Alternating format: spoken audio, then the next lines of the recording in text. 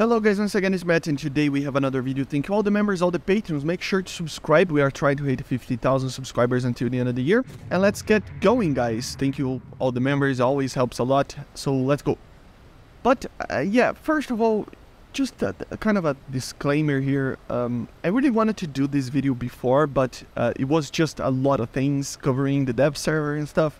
So just be aware, okay? Um, there is some people like thinking that it's uh the I don't know, Gaijin is paying the content creators to not talk about this or whatever, which is really weird even.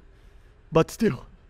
I wanted to talk about the main problem with War Thunder again. I already did a video on this back in the day. I don't know if you remember this. I had like half the subscribers, so it's been a while kind of. Uh, so, but I wanted to reiterate that opinion that I have together with the additions, uh, with the occurring economic changes and all sorts of weird things happen. Okay, uh, so let's start with the economy. Okay, so the economy isn't helping. Okay, yeah, obviously the economy of the game is not the greatest thing ever right now, uh, and it kind of became worse uh, in that change that they did.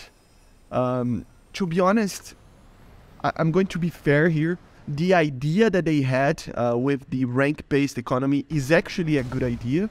It's just that the implementation had a kind of a weird effect. Um, in my opinion, at least, you saw some very interesting things. I'm talking specifically about the repairs. I'm not gonna talk too much about the rewards because I think the, the rewards should be, of course, if, if you're going to do a rank-based economy, right? Uh, they will be changed nonetheless, but the thing is that it was really weird that it, it, if you think like in a graphic or something like that, or in a line that you think that the lower tiers will pay less and then the higher tiers will pay more, it was weird that yes, the rank-based economy is better. It would make it so that it's have a, we just have a better progression throughout the top until the top tier with prices and stuff and rewards, right? And not have the crazy amounts of repair costs that we have, for example, in a B29 out of nowhere being a prop in tier 4, you know, uh, having like a 40,000 lion repair cost or something crazy like that, right?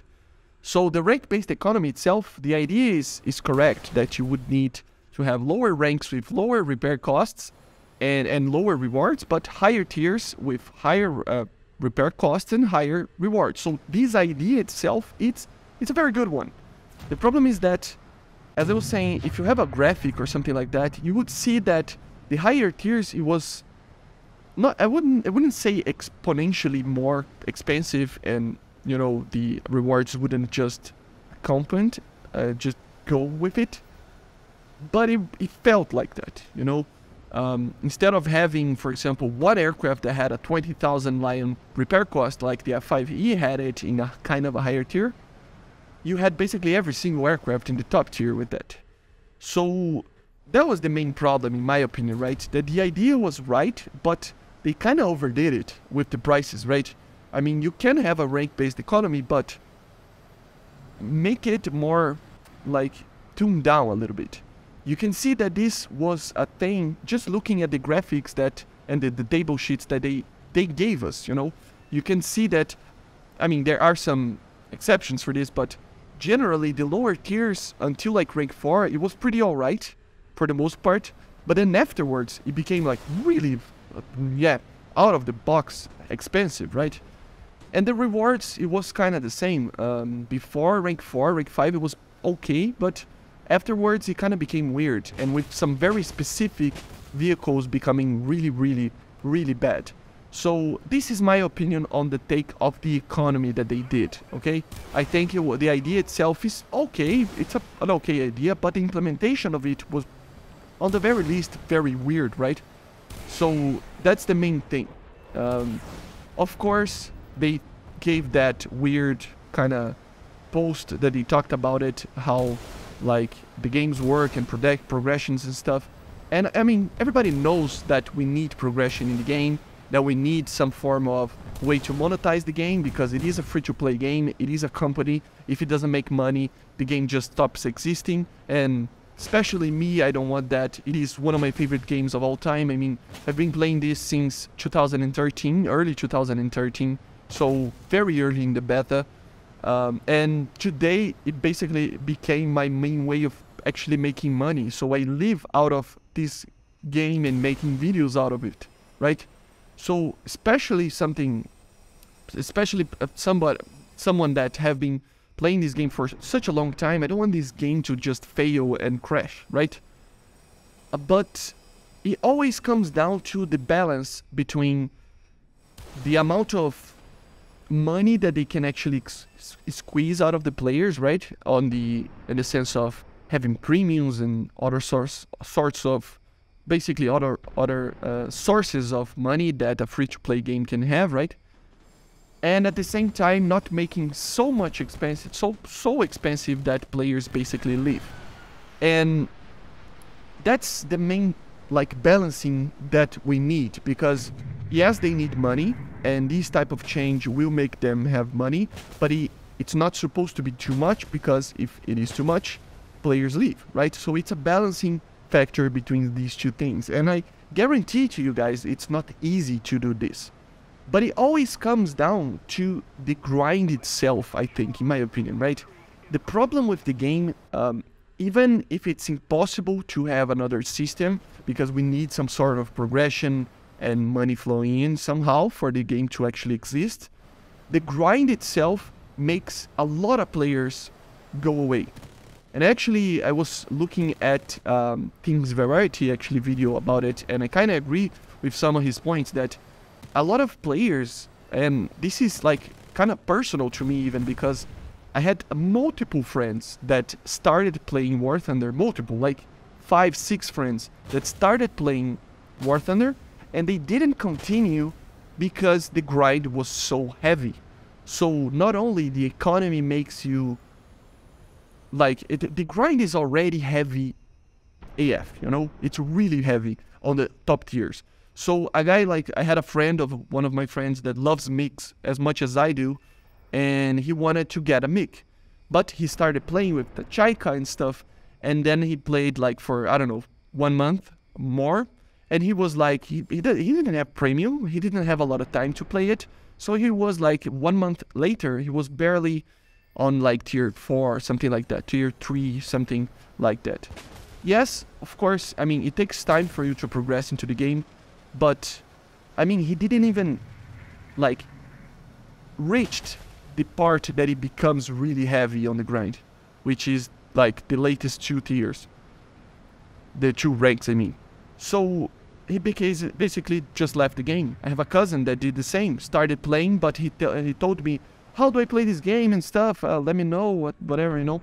And I told him the, the, what you have to do and stuff and play the game. He started playing. Two weeks later, he couldn't have anything that he wanted. It was too far away for him to get it. So, yes, there is a factor of balancing this thing of having to have money flowing, having to have a progression. Yes, of course. I, I think all the players understand that but it is so much and it's so heavy sometimes that a lot of players just go away. And with a lot of players going away, you have like a kind of a cascade effect or just an effect of a snowball effect, right? That it becomes a problem because they need the money and no new players are coming in or not as many as they should or a lot of people are coming in but going away as well. If they go away, they don't spend money in the game not spending money in the game, the game can die, right? So it's kind of a, no, a snow effect, a snowball effect of just it's getting worse and worse in that situation. Uh, generally, right? I mean, we are having more and more players from the past like two to three years, and like from 2020 upwards, we had like a lot of players coming into the game and making and staying, right? So they are doing something right. The game is amazing. The game has a lot of potential but they really need to be careful on this economic thing and overall just on the way that they charge the premiums especially uh, the way that everything's priced. I mean, seventy dollars for a premium pack. I think it's a little bit pricey on the very least, right? So I don't know. It just makes it so that the grind is already heavy, man. If the grind would be a little bit less and maybe continue with that expensive model, but uh, with just at least less grind or a little bit more money, I don't know. Something needs to change for it for this this game to actually blow up a lot more than it already has. I think he has everything on its table to be one of the best games out there for this type of thing, this type of genre of games, right?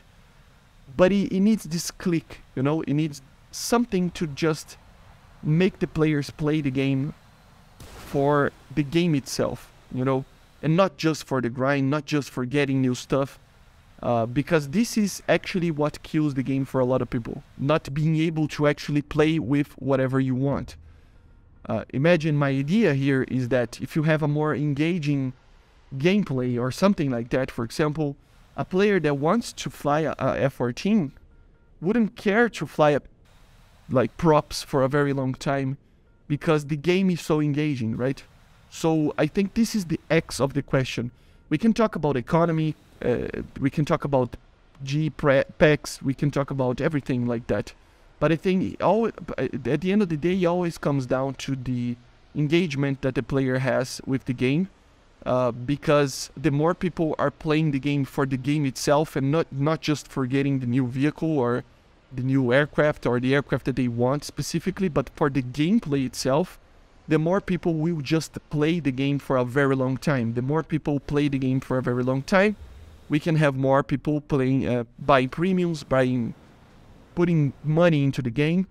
The more we have that, the less pricey these premiums need can be. You know, at uh, you know, uh, in a general way. Of course, uh, these need to be like it needs to have kind of a, a way of balancing this, but still, you know, we understand what I'm saying. Like the guy needs to, if you have a lot of people playing, a lot of money will come in and with a lot of these things with more money coming in and stuff they can maybe chill out a little bit on the economy because at, at the end of the day progression and i don't think people are understanding this uh, apparently in the community the community is just on a riot right now but they forget that this whole thing at least in my opinion i think they forget that this whole thing about economy and why the economy is in the game is because the game needs to make money in economy, it's a way of that. Yes, progression, of course, but that's the thing. If you have a very big progression in their heads, people will want to buy a premium or a premium aircraft, right? Premium time, premium aircraft to get more money quicker, you know. So, but it, it kind of became too much, of course. It kind of became too much, you know. So, we kind of need a new system here. As I said, I still think that the problem is more deep than just the economy, just the Silver Lions. I think a lot of the gameplay that I see, a lot of the players, a lot of my friends, a lot of the community just play for the grind, for getting the new stuff, for getting the new vehicle, for getting the new X or Y, the new weapon, whatever, and kind of forget about a little bit about the gameplay itself. And I think that's where they should focus. Maybe continue with the economy that they had right now, the, the, the re reversed one, the original one, for now at least, and try to focus on more gameplay stuff. I don't know what. I mean, I'm not a like a. I, I, I really don't have a very solid idea behind this. I I'm for sure that my idea behind would be more engaging battles, you know, so at least more objectives you know, more types of competitive gameplay at the same time being very fast-paced game at the same time having strategy things that make you think about and do the gameplay itself and not just trying to get the new vehicle right and i see that a little bit on naval right now being added for example with the new uh, islands with the, the, the battleship turrets and stuff and i see that with the bigger maps with rb you know but for example, simulator has been forgotten a little bit. RB, where is the enduring confrontation RB? You know, where is more types of more engaging situations uh, for gameplay? You know, it's always kind of the same. Where's the asymmetrical part of the battlefield that exists in real life? I know asymmetrical battlefields make you lose a lot if you are in the, the short stick part, you know? But it would make it so that it is more engaging. I always it, it always comes down to the rush mode on Battlefield. If you played Battlefield, you will know what I'm talking about. Rush was a kind of an asymmetrical kind of situation on Battlefield 3 and 4 and or even before that. And it was okay that it was asymmetrical. Yes, uh, a, a lot of the times you know, a certain team would lose a lot because it has a disadvantage of having to attack a certain point that was difficult or whatever. But it was uh, engaging, it was much more rewarding. Any type of more realistic environment or more objectives and having to use a certain strategy or anything like that can be way more effective to keep a, a player engaged than just getting a new vehicle every time and making the game out of that, you know. So yeah, this is my opinion on it. I agree that that type of system might be the future of War Thunder, the rank based, but not in the way that they added. Understand that we need some form of more linear progression in the economy to actually work better. Right now, it is not the way that it's supposed to go, but that thing was kind of weird as well. So, yeah, we need something at least on that part to maybe chill the community a little bit. Maybe it would make it so that it's a little bit better. And it's good that the community is actually getting together with this, you know. Um, I just think that maybe we need to get together on more a more material way, you know, and less just screaming. Like, get the ideas out there. Get the ideas on the forums, especially on Reddit or whatever, you know, but get the ideas out there and not just remove the silver lions. It's come on, they're not going to do that. We need a cons- constructive kind of environment here because if not, um, I don't know. I'm not pessimistic about this, but I don't think everybody wants that the game dies. You know, I know a lot of people hate Gaijin. I know, I understand.